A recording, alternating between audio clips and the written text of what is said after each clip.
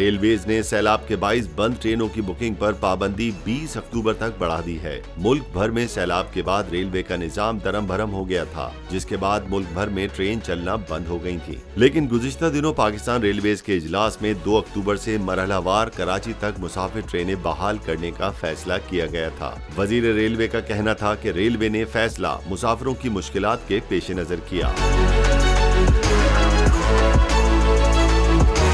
पहले मरहले में रोहड़ी तक बहाल की गई दो ट्रेनों को कराची तक चलाने का फैसला किया गया है और खैबर मेल और रहमान बाबा एक्सप्रेस 2 अक्टूबर से कराची तक चलाई जाएँगी। महकमा रेलवे के मुताबिक खैबर मेल, रहमान बाबा एक्सप्रेस की बुकिंग मामूल के मुताबिक जारी रहेगी, जबकि पाँच अक्टूबर ऐसी बहाल होने वाली ट्रेनों की बुकिंग भी जारी रहेगी।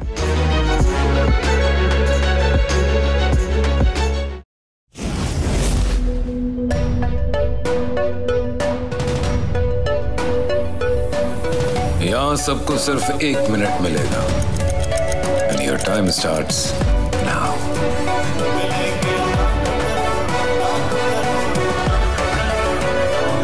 लाखों करोड़ों, बस एक मिनट में।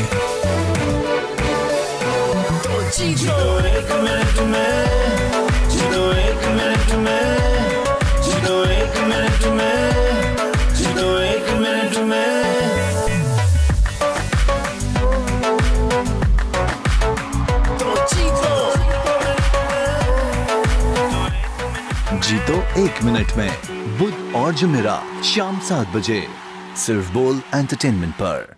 सबसे ज़्यादा व्यूज़ सबसे ज़्यादा रील और सबसे ज़्यादा रेटिंग के साथ बोल अब भी नंबर वन पोजीशन पर बरकरार। सब्सक्राइब करें और बेल दबाएँ ताकि कोई खबर रह न जाए।